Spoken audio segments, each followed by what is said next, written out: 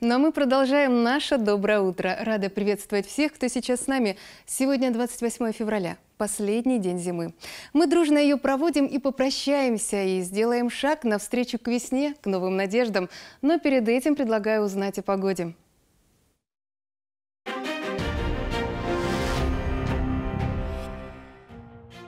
В Карачаево-Черкесии переменная облачность преимущественно без осадков – Ветер восточный 5-10 метров в секунду. Температура воздуха ночью 0 плюс 5. В горах местами до минус 5. Днем 9 плюс 14. В горах местами до плюс 7. В Черкеске переменная облачность без существенных осадков. Ветер восточный 5-10 метров в секунду. Температура воздуха ночью до плюс 3. Днем 11-13 градусов тепла.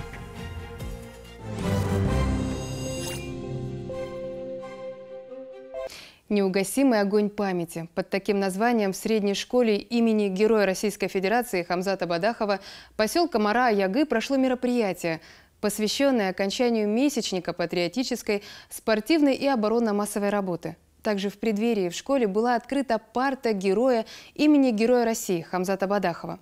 Подробнее о мероприятии расскажет Алихан Лепшоков. Военно-патриотический месячник объединил всех, кто предан и служит Родине. И сегодняшнее мероприятие – дань памяти тем, кто отдал своей жизни за мир и свободу, отметили организаторы.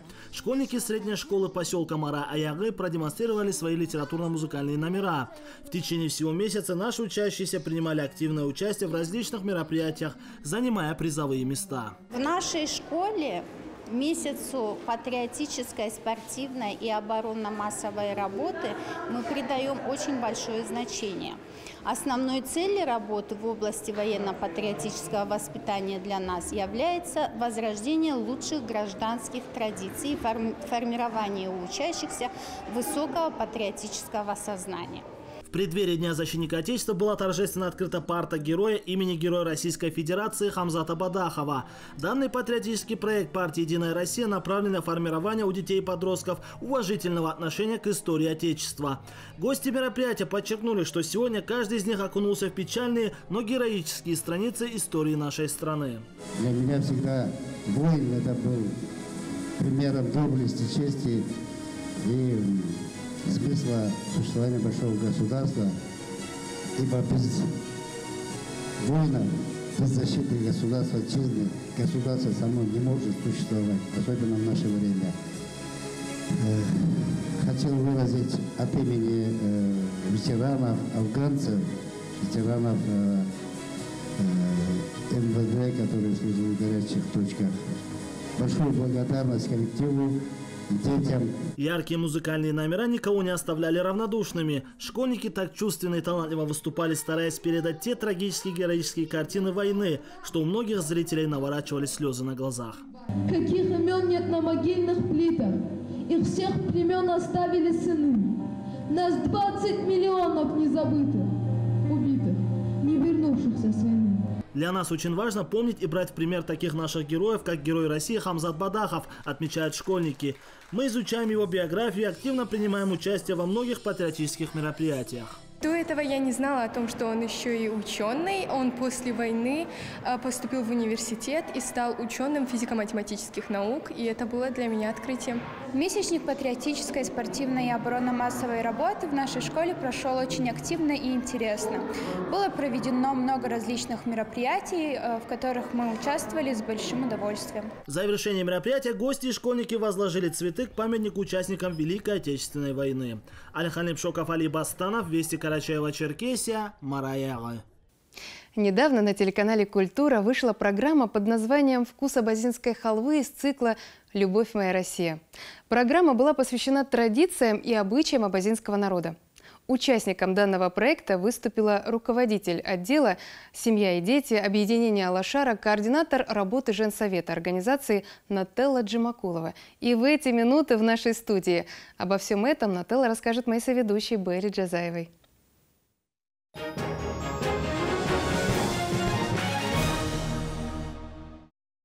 Доброе утро всем, доброе утро, Нателла. Я доброе благодарю утро. тебя за то, что ты нашла время сегодня пришла к нам в гости. Повод для нашей с тобой встречи, он, он очень хороший, потому что не так давно на канале «Культура» вышла программа из цикла «Любовь моя Россия», и программа называлась «Вкус абазинской халвы». Ты стала участником этой программы. Мне бы хотелось узнать, кто тебя пригласил на эту программу, как ты туда попала, как о вас узнали, о чем вы говорили, ну, как все происходило? Мы, я являюсь координатором женских советов базинских аулов при организации Ануала Шара. И мы в 2020 году выиграли э, президентский грант, угу. который на написанный проект абазинские традиции молодым хозяйкам. То есть мы не преследовали эту цель, мы хотели через этот грант современным путем, угу. всеми известными, ну, как бы в силу обстоятельств, которые произошли эти года, мы были ограничены в проведении каких-то более масштабных мероприятий, и мы решили немножечко видоизменить проект, и мы его перенаправили на э, снятие роликов абазинских традиций и обычаев. Мы сняли три мастер-класса э, абазинских блюд и три, э, три обычая. Э, и вот первый у нас был ролик, он был посвящен традиционной абазинской халвы, которую готовят именно в день свадьбы, свадебную халву. Угу. Мы попытались максимально реконструировать так, как ее делали именно в старину, и полностью сопровождающий цикл традиционных обычаев, которые проходили, мы все это воссоздали в ролике. Он у нас получился таким интересным, колоритным. Mm-hmm. Мы сами очень вдохновились. И более того, мы пытались сохранить для наших молодых будущих абазинских хозяек, но, но оказывается, нас и смотрят в Россию. И нас очень сильно удивило этому, что такой интерес проявили к нашим роликам, позвонили в руководство, и они более детально об этом говорили, и руководство решило, и женсовет в целом решили, что я поехала туда на передачу. Угу. А как вообще это была запись, это был прямой эфир, как все происходило? Это кто была... был автором программы, кто был ведущим программы? Uh, ведущий программы был Пьер Бараше, uh-huh. а, а продюсер программы была Марина Петронянс. У нас довелось немножечко пообщаться до программы, это была запись, но она говорит, я, я была как будто, говорит, с вами, и и снимала вместе с вами эту передачу. Говорит, настолько, говорит, качественно, ярко, динамично вы, говорит, сняли. И, Имеется и в виду ваши фильмы? Да, им очень понравились наши ролики. И получается, я дополняла ролики, то есть э, рассказывала о них, а, и ролики вставляли. Наши же, наш же материал показали уже. Какой хронометраж был у программы? Э, получасовой. Хотелось бы узнать о реакции вот э, наших местных людей, кто видел э, вообще ваших зрителей. Ну, э, у меня и у женсовета, и вообще организации в целом было сначала удивление, что вот мы, нам удалось привлечь внимание к нашим скромным роликам. Но оказалось, мы интересны им в России, наши традиции на самом деле. И э, более того, и даже после этого последовало еще одни гости приехали, другая передача а, «Вокруг света» называется. Это с Екатеринбурга приехали к нам и снимали тоже вот как первое укладывание ребенка в люльку. Женщины тоже показали в населенном пункте. Они прям хотели, это как в семье происходит, то есть не постановочно, а именно вот в настоящей семье, как этот обряд проходит, после этого тоже сняли. Так и получалась цепочка получилась у нас, угу. вытекающая. А как вы снимали эти ролики? Кто в них участвовал? Участвовали актив села, желающие. Э, мы, я собирала информацию, писала сценарий. Э, мы с женщинами потом это, можно сказать, немножечко даже репетировали. И сами же женщины участвовали в этих же роликах. В основном постановочное все в основном было. постановочно. Но мы э, почему это показываем? Мы пошагово, что означает тот или иной обряд. Э, почему именно эта еда символизировала для этого обряда.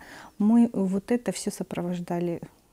Ну тут, мне кажется, самое главное, людям интересно как это происходит у других народов. Да. И угу. тем более это как-то и колоритно, да, маленький да. народ, и вот какое-то взаимодействие идет.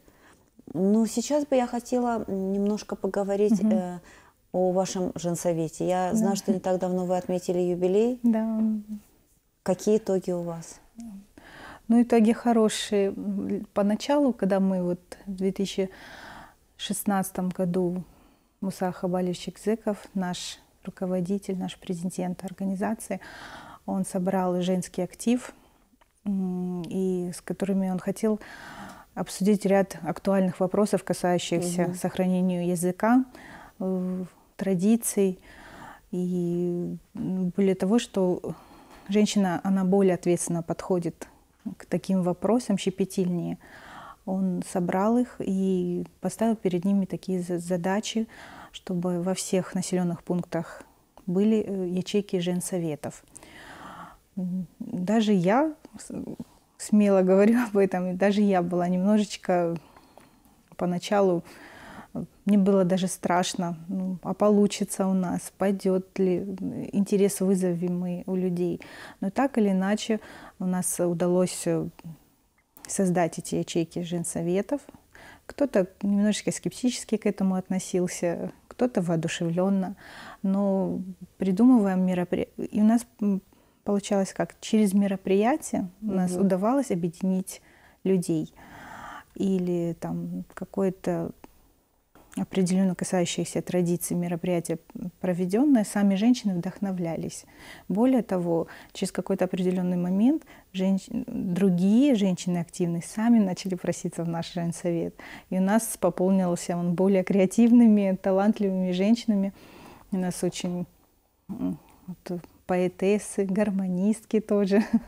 У нас, э, мы не только, у нас очень весело мы и полезной э, работой занимаемся. Вот э, в период э, эпидемиологической ситуации женщины очень хорошо себя проявили, за что мы им очень сильно благодарны.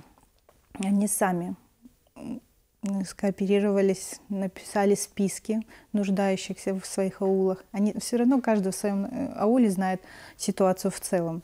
Они не дождались чьей-то помощи и сами своими же силами Конечно. продуктовые пакеты носили, лекарства. Потом с Мусой Хабалевичем у них был скайп, они предоставили ему списки, и они все вместе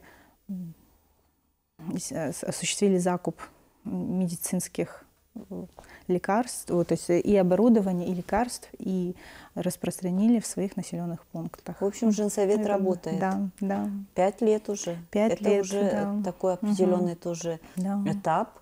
Да. А, и еще, возвращаясь к вашим роликам, я думаю, вы не про все обычаи успели да. рассказать. Нет, Наверное, нет. вы будете продолжать? Да, да. У нас, более того, у нас э, эти ролики очень сильно вдохновили, и мы планируем по весне. Сейчас мы подготовили пошаговый сценарий. Мы хотим снять худ... наполовину художественный, наполовину документальный фильм об абазинская традиционная свадьба, как она была, и, и все сопровождающие, реконструировать пошагово угу. полностью и об этом всем рассказывать. Ну, думаю, вас да. опять пригласят, может быть, на другую программу. Это тоже будет очень интересно. Я желаю женсовету и лично тебе э, успехов. Спасибо и спасибо, что была гостьей нашей программы. Спасибо большое. Член студенческого научного общества КЧГУ имени Умара Алиева Белла Межаева стала победительницей международного научного конкурса исследовательских работ. Она представила свой труд под названием «Маяковский поэт на все времена». С победителем конкурса побеседовал наш корреспондент Алихан Лепшоков. Доброе утро, дорогие телезрители. У нас сегодня в гостях победитель международного конкурса научных проектов Белла Межаева. Доброе утро, Белла. Для начала хотелось бы узнать, расскажи нам, что из себя представляет вот этот конкурс, где ты участвовала, и что за работу ты представляла? Мне пришло приглашение от научного общества всероссийского Future Science, э, где они пригласили меня поучаствовать в данном конкурсе, и я отправила свою научную работу. А, она называется «Маяковский поэт на все времена», и я постаралась э, поднять очень важные проблемы на данный момент, особенно э, ситуация с коронавирусом. Очень интересно, почему ты выбрала именно Маяковского и чем он тебе так нравится? Его произведения э, окликаются ли современностью? Каждый раз, когда я говорю об этой научной работе, люди удивляются, почему здесь Маяковский, почему здесь коронавирус. Э, я им отвечаю, э, Маяковский Владимир Владимирович на собственном опыте э, пережил карантин, то есть он не выходил из дома в течение нескольких месяцев, и он э, писал стихи все это время. А также Владимир Владимирович э, по своей натуре был человеком чистоплотным, и каждый раз он мыл руки и обрабатывал их. Я считаю это очень важно, потому что на данный момент э, распространяется очень с, с высокой скоростью омикрон, вот, и очень важно следить за собой. Также мне понравились очень э, строки из его стихотворения «Шагай 100-миллионная масса в 100 миллионах масок». И на данный момент, мне кажется, это очень актуально, потому что э, складывается такое ощущение, будто э, писатель чувствовал, что может произойти на данный момент. Я еще со школьных времен изучала его творчество, в принципе, его личность мне очень импонирует. А, и в какой-то момент я перечитывала сборник его стихотворений, и поняла, что я тоже могу писать стихи. Я начала писать стихи тоже, потому что я поняла, что это именно то, чем я хочу заниматься, помимо науки. Вот. И благодаря нему я написала такую блестящую статью. Я считаю ее блестящей, потому что она очень актуальна на данный момент.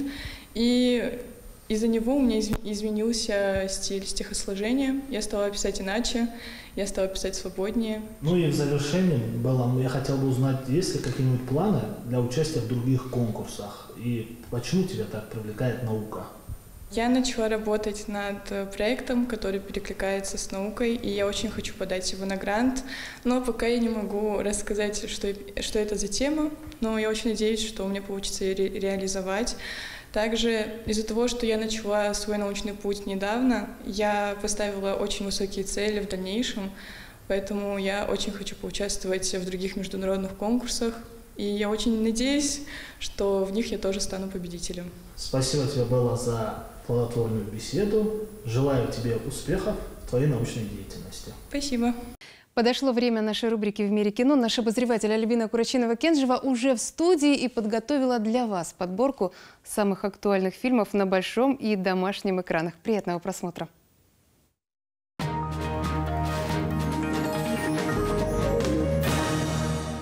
Доброе утро всем! Как ваши дела и как ваше настроение? И вот что я подобрала для вас сегодня.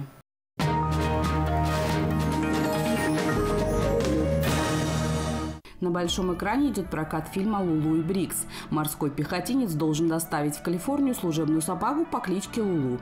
Задание оказывается с подвохом. Лайтовая поездка вдоль Тихоокеанского побережья превращается в адское путешествие, где непонятно, кто кого возьмет. А любителей ужастиков ждет новинка клаустрофобы. В заброшенном бункере в римские времена был храм подземного божества Сарануса, а во время войны нацисты устроили себе убежище. Сейчас же проводятся генные эксперименты и игры на выживание. А юных любителей порадует мультфильм «Пламенное сердце». С самого детства у Джорджи Нолан была только одна мечта – стать пожарным, как папа. Когда в городе стали происходить странные пропажи пожарных и каким-то образом сжигаться дотла театры, девочка решила спасать родной город. Большой прокат вышел фильм режиссера Артема Михалкова «Мистер Нокаут». Картина о жизни и приключениях легендарного советского боксера Валерия Попенченко, чемпиона СССР, Европы и победителя Олимпийских игр 1964 года в Токио. О его детстве в Суворовском училище в Ташкенте, о службе курсантом, пограничником, о его первых успехах и неудачах. История о том, что в любом, даже в самом престижном поединке для спортсмена главное преодолеть себя, свои страхи и слабости. И только тогда можно будет одержать настоящую победу.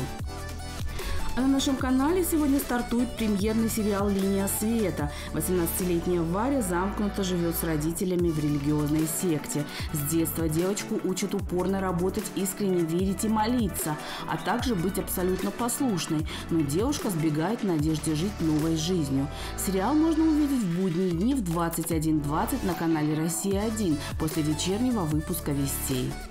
На этом я прощаюсь с вами. Желаю вам приятного просмотра и отличного настроения. Всего доброго. Завтра в это же время жду вас у телеэкранов, но в 14.30 смотрите информационный выпуск «Вестей». Хорошего продолжения дня. До встречи.